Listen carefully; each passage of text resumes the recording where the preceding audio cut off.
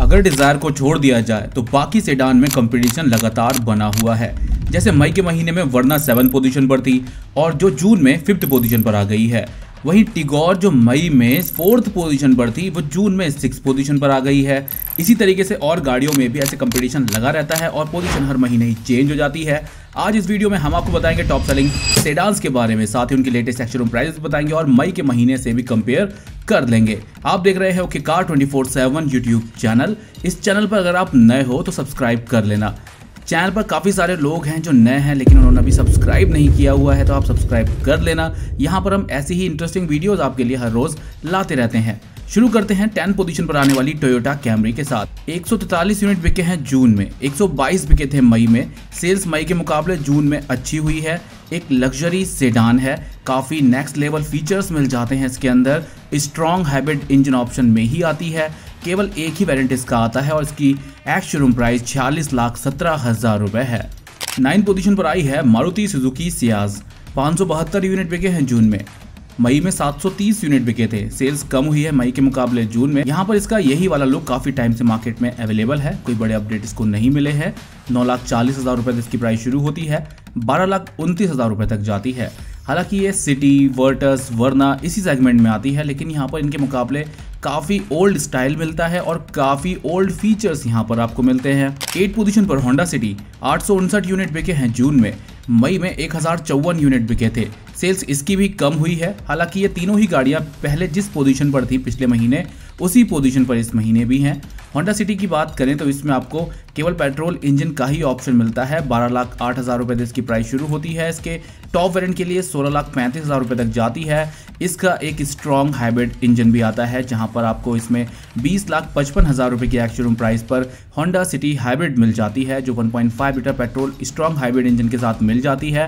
इसके बाद स्कॉडा की स्लाविया 1230 यूनिट बिके हैं जून में सेवन पोजीशन पर आई है। लास्ट मंथ ये सिक्स पोजीशन पर थी मई में, एक यूनिट के साथ में।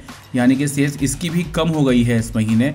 ओवरऑल देखा जाए तो सेडान का सेगमेंट काफ़ी तेज़ी से नीचे जा रहा है। सेल्स कम हो रही है, लेकिन ये जो गाड़ी है सेडान है, भारत की सेफेस्ट सेडान में शुमार होती है। यहाँ पर इसने सेफ्टी में five out of five star की सेफ्टी रेटिंग हासिल की हुई है। सेम ऐसा वर्टस ने भी किया है और वर्ना को भी five out of five star की सेफ्टी रेटिंग्स मिली हुई है। स्लाविया की बात करें तो इसके पेरेंट्स के नाम अब चेंज कर दिए गए हैं। यहाँ पर अब आपको क्लासिक सिग्नेचर और प्रेस्टीज देखने को मिल जाएगा। क्लासिक इसका बेस वेरियंट है। दस लाख उनहत्तर हज़ार रुपए की एक्शन प्राइस पर अवेलेबल है। अट्ठारह लाख उनहत्तर हज़ार रुपए इसके टॉप वेरियंट के लिए प्राइजेस हैं। यहाँ पर इसके प्राइस को अब कम कर दिया गया है। इसके बाद टाटा की टिगोर ये कॉम्पैक्ट सिडान है। 1371 यूनिट बिके हैं। सेगमेंट में ये डिज़ायर और अमेज जैसी गाड़ियों को राइवल करती है। टिगोर की सेल्स भी अच्छी होती है, लेकिन अभी फ़िलहाल इस महीने सेल्स कम हुई है। पिछले महीने ये फोर्थ पे थी, दो यूनिट के साथ। पेट्रोल के साथ सीएनजी का ऑप्शन भी मिल जाता है और टिगोर की प्राइस शुरू होती है छह लाख तीस हज़ार रुपए से और इसके टॉप वेरियंट के लिए नौ लाख पचपन हज़ार रुपए तक जाती है। वहीं इसका जो इलेक्ट्रिक वर्जन आता है, उसकी प्राइस शुरू होती है बारह लाख उनचास हज़ार रुपए से और तेरह लाख पिछहत्तर हज़ार रुपए तक जाती है। फिफ्थ पोजीशन पर आई है ह्यूडे की वरना एक हज़ार चार सौ चौबीस यूनिट बिके हैं जून में। सेवन पोजीशन पर आई थी ये मई में तेरह सौ इक्यासी यूनिट के साथ में। यहाँ पर ये केवल पेट्रोल इंजन ऑप्शन में ही आती है। साथ ही साथ इसका एक टर्बो चार्ज पेट्रोल इंजन का भी ऑप्शन मिलता है। इसकी प्राइस शुरू होती है ग्यारह लाख रुपए से और टॉप वेरियंट के लिए सत्रह लाख बयासी हज़ार रुपए तक जाती है। फोर्थ पोजीशन पर फॉक्स वैगन वर्टस सोलह सौ छप्पन यूनिट बिके हैं जून में। Last month Virtus fifth position पर थी 1610 यूनिट के साथ में। इसमें केवल पेट्रोल इंजन ऑप्शन ही मिलता है। वन लीटर और 1.5 लीटर टर्बोचार्ज पेट्रोल इंजन में ये केवल टर्बोचार्ज पेट्रोल इंजन में ही आपको मिलती है। वन लीटर का टर्बोचार्ज पेट्रोल इंजन और 1.5 लीटर का टर्बोचार्ज पेट्रोल इंजन इसमें कई सारे वेरियंट्स आपको मिल जाते हैं। ग्यारह लाख छप्पन हज़ार रुपए तक प्राइस शुरू होती है। उन्नीस लाख इकतालीस हज़ार रुपए तक जाती है। थर्ड पोजीशन पर होंडा मेज एक हज़ार सात सौ चौरानवे यूनिट बिके हैं जून में। मई में भी ये थर्ड पोजीशन पर थी, दो हज़ार दो सौ पंद्रह यूनिट के साथ में। होंडा मेज केवल पेट्रोल इंजन ऑप्शन में ही आती है। VX इसका टॉप सेलर वेरियंट है। सात लाख बीस हज़ार रुपए इसकी प्राइस शुरू होती है। इसके टॉप वेरियंट के लिए नौ लाख छियानवे हज़ार रुपए तक जाती है। सेकंड पोजीशन पर ह्यूडे और चार हज़ार दो सौ निन्यानवे यूनिट बिके हैं जून में, चार हज़ार चार सौ तैंतीस बिके थे मई में मई में भी ये सेकंड पोजीशन पर ही थी, इस महीने भी ये सेकंड पोजीशन पर बनी हुई है। ये भी केवल पेट्रोल इंजन ऑप्शन में आती है सीएनजी भी इसमें आपको मिल जाता है पेट्रोल के साथ में।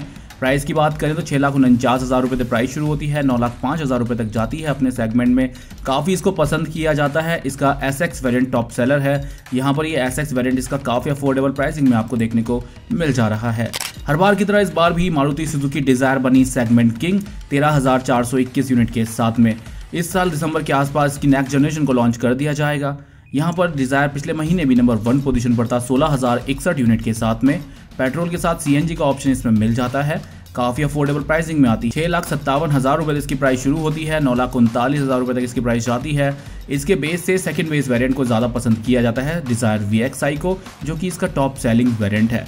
तो ये थी top ten best selling sedan